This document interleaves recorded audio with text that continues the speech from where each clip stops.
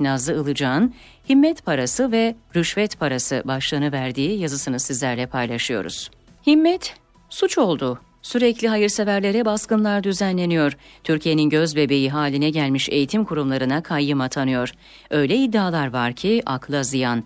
Son soruşturma FETÖ'ye finansal destek sağladığı söylenen 13.600 kişiyle ilgili. Bunlardan 1854'ü 17-25 Aralık sonrasında da yardım etmeyi sürdürmüş. Onlar havuz medyasında yazılanlara bakılırsa okkanın altında. O kadar mantık dışı bir zemin yaratıldı ki her kelimenin anlamı değiştirildi. Gerçek hayırseverler terör örgütü finansörü ilan edilirken rüşvetçi Rıza bizzat dönemin başbakanı tarafından hayırsever iş adamı diye nitelendirildi ve hakkındaki takipsizlik kararı hak yerini buldu şeklinde değerlendirildi.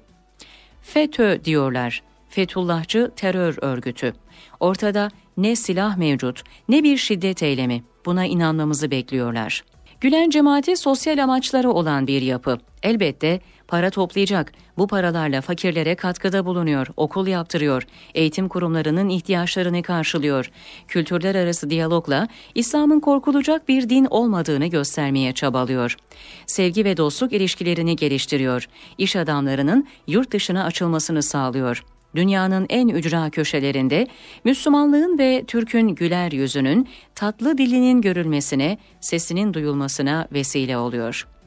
Tutuyorsunuz bütün bu faaliyetlere terör damgası yapıştırıyorsunuz. Sonra da onlara destek olanları teröre destek verdiler diye suçluyorsunuz.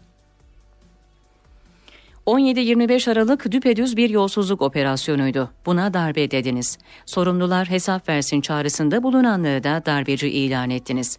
Ortada açık seçik bir yolsuzluk olduğuna göre soruşturmayı yürüten savcı ve polis ne yapmalıydı? Ucu hükümete uzanıyor diye pisliğin üzerini mi örtmeliydi? O zaman darbeye iştirak etmemiş ve meşru zeminde mi kalmış sayılacaktı? Bütün kavramlar ters yüz edildi. Suç işleyenin yakasına yapışmak yerine suçu takip edenler cezalandırıldı. Üstelik ceza hukukunun gerektirdiği somut ilişkiler delillendirilmeden polisler, savcılar, hakimler topyekün cemaatçi ilan edildi. Sadece yolsuzluk operasyonuyla da sınırlı kalmadı bu iddialar. MİT tırlarına, balyoz ve ergenekon davalarına da sirayet ettirildi.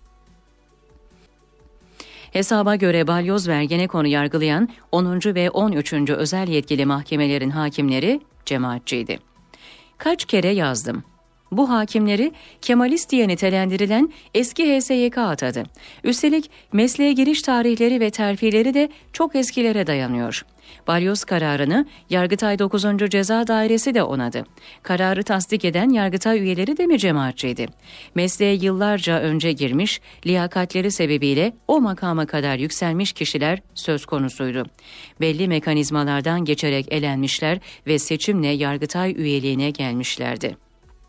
Ama zaten cadı avı böyle bir şey. İnsanları yaftalayacaksınız, şeytanlaştıracaksınız, hiçbir delil olmadan suçlu ilan edeceksiniz.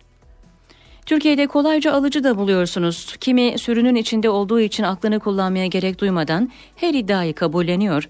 Kimi dini tehdit gibi gördüğü için zaten bütün cemaatlere düşman.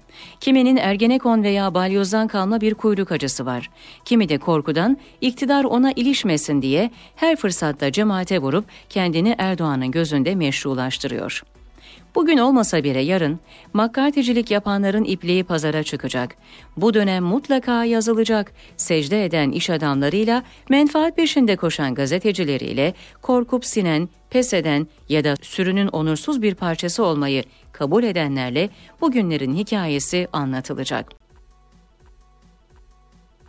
Herkes yüz kızartıcı tablodan payına düşeni alacak. Çok şükür mazlumlarla beraber oldum. Çok şükür faşizmin ayak seslerini duyabilecek, Türkiye'nin nasıl bir kapana sıkıştırılmak istendiğini görecek feraset ve sağduyuya sahibim.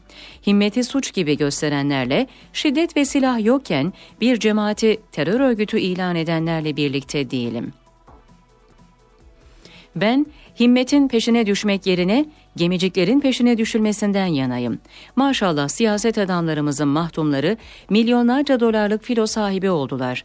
Arkadaş bu değirmenin suyu nereden geliyor hiç merak etmiyor musunuz? Ve son bir soru. Himmet demişken Asıl Suudi Arabistan kralının Türgev'e 100 milyon dolarlık bağış yaptığı için araştırılmadı. Kral Hazretleri neyin karşılığında, hangi beklenti içinde böyle büyük bir para yardımında bulundular? diyor Özgür Düşünce gazetesindeki yazısında Nazlı Ilıcak.